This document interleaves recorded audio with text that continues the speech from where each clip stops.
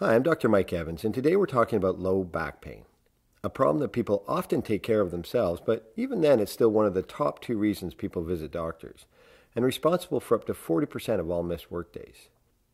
Okay, let me begin by giving you a bit of a mixed message. For most of us, back pain is actually not a quote disease. It's more part of the normal experience since we've walked on two legs. Spinal structures such as bones, ligaments, discs, joints, and nerves interact in marvelous ways to support us to do the million things we do with our backs. But occasionally this backfires and gives us what we call mechanical back pain. The severity of the pain, which, which can be extreme, does not always reflect the seriousness of the underlying problem, and the vast majority gets better by itself without medical intervention. On the other hand, we know that while it does get better, 30% of you have a recurrence in six months and 40% within a year. If this sounds familiar, it may be helpful to stop seeing your recurrent back pain as discrete events and, and more as a chronic vulnerability, that you need to create what I call a back resilience plan. Maybe learn some lessons from people who manage their chronic diseases well. They build a support team and reach out early when there's a problem. They make small changes and they focus on basics like managing stress, getting quality sleep, and keeping active. So let's start with the pain itself. Let's keep it simple and talk about two patterns. First is what we call back dominant pain. Most commonly, this pain radiates down the back to our butt and or around the hips. Some patients just have pain in the back, and, and others can sometimes feel the pain all the way down the leg.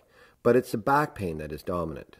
Most of these patients get relief or aggravation of pain with particular movements or positions, for example, when they arch backwards or, or bend forwards. Typically, this kind of back pain comes and goes, or it comes in spasms as you move.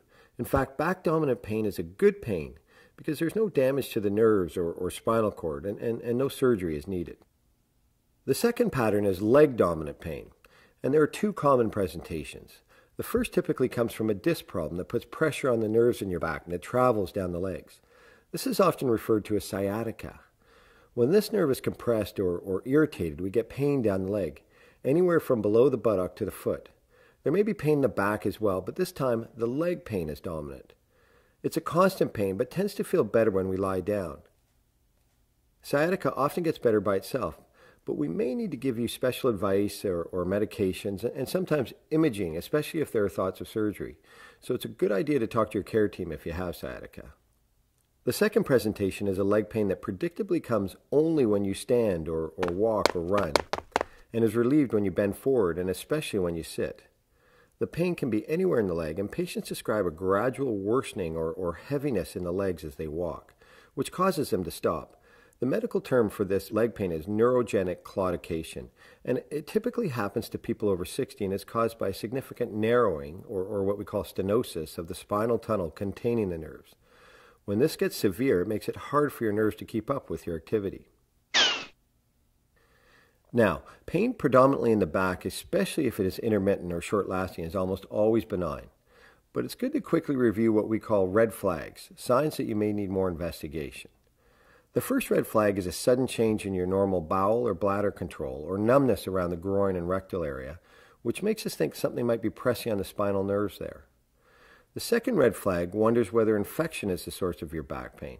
So, for example, if you have a sustained fever, if you're an IV drug user, if you have a weakened immune system or at high risk for urinary or other infections. The third red flag is about your risk for fracture in your back. So, if your pain started with a big fall or a car accident, or perhaps your bones are brittle because of osteoporosis. The fourth red flag is wondering whether cancer might be involved. So, if you have a history of cancer, particularly in the prostate, breast, or lung, and your pain is constant, lasting weeks, even when lying down or at night, or you have other insidious symptoms such as unexplained weight loss, you need to follow this up. And finally, there's back pain that comes from diseases that cause lots of inflammation, such as ankylosing spondylitis. Now, this is rare, but when we look at people with chronic back pain, it can be seen in as many as 1 in 20. It tends to start when people are younger, say ages 15 to 35. They have night pain, and lots of morning stiffness lasting over an hour, but this gets better with movement. After red flags, the next question we often get in clinic is Should I have an x ray or a CT scan or an MRI?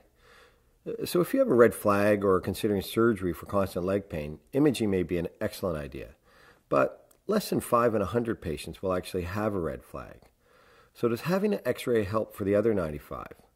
The answer is no. Professor Richard Deyo and his group calculated that only 1 in 2,500 back x rays show an important finding.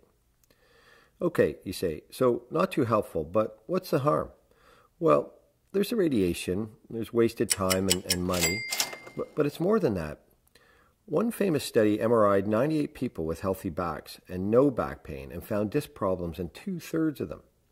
The problem with this is that it turns out your outlook or, or your attitude is actually very important to outcomes in low back pain. What we don't want is people saying to themselves, oh, I have back disease, so I, I better stop exercising. Or every time they feel a twinge, they feel they have a quote, illness. This brings us to the next type of flags, what we call yellow flags. These four flags predict an increased risk that somebody's acute low back pain will become chronic. Number one is the belief that back pain is harmful or, or potentially severely disabling. Secondly, is fear and avoidance of activity or movement because of back pain. When I think of these two risk factors, I actually think of a trial done with baggage handlers and, and maintenance workers at an airport who were in bad shape from back pain and had been off work for a month. Dr. Bart Staal and his colleagues in Maastricht, a, a beautiful town in the Netherlands, divided these workers with severe low back pain into two groups. The first group received usual care. The second group received the same, but were also slowly exposed to more and more activity and exercise and were conditioned to understand that they could function normally despite the presence of some back pain with their activity. In other words, the investigators helped them overcome yellow flag number one, the belief that all back pain is harmful. And that opened the door to overcome yellow flag number two, reducing avoidance of activity. It was mind over matter.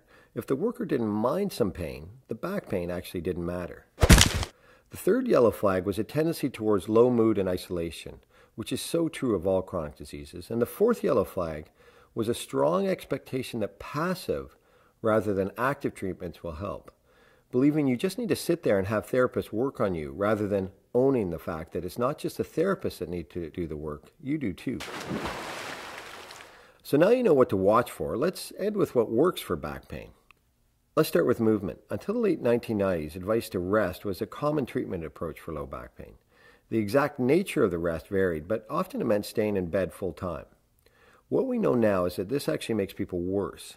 Sometimes people with back pain do have to rest, so for example, with more severe sciatica. But people who don't move at all do worse. Motion is lotion, and over the counter medications can really help. And I, I think one of the key ways these work is to reduce pain so that you can keep moving. Other things that have demonstrated effectiveness for pain relief include spinal manipulation, typically by a chiropractor or an osteopath, uh, massage, and even acupuncture. These therapies combined with exercise can be considered active therapies and are often done by your local physiotherapist. Some exercise strategies may be effective once your pain is reduced, like Pilates or, or yoga, to improve your core or trunk strength, but the benefits are hard to prove in research trials. Treatments like spinal manipulation or acupuncture should not be done indefinitely, most of the trials maxed out at 8 to 10 sessions and often less. If they don't work for you initially, more treatments will unlikely benefit. Two other approaches that have been proven to work, especially for more chronic back pain, are cognitive behavioral therapy, changing the way you think and, and therefore behave around low back pain, and being taken care of by what we call a multidisciplinary team, a team with different skill sets. We see this often in medicine. Complex problems seem to rarely find their solution in one place. Okay, let's step back and summarize. First, you need to know that the prognosis for acute low back pain is excellent. Only about one third of patients with back pain seek medical care, so most improve on their own. Over time, up to 90% of patients we do see with acute low back pain recover. The first episode may be brief or, or last several weeks, but it does go away. Unless there are red flags, these people do fine by acknowledging the pain but not focusing on it by keeping moving uh, and perhaps having some active therapy, but there is no need for x rays or other imaging. Generally, less is more with this type of back pain. Although there is less high quality data to support this, many patients often respond to small changes, such as modifying their workstations, taking breaks from sitting, or improving their posture. For those with chronic or recurrent pain, the outlook is still good. Primary care samples suggest that one third of patients are substantially improved after just a few weeks and two thirds after a few months. But with recurrent or chronic back pain, we both need to work a little harder to get you better. As I mentioned earlier, seeing this vulnerability and, and developing a resilience plan for your back that might include yoga or Pilates or, or specific exercises that fit with your back pain pattern. Walking, reconsidering your attitudes, and having some people you can turn to early for active therapy can all help. So, in the end, back pain is actually not that much different than a lot of things in life. Your mindset and, and daily habits are critical, and so is self knowledge.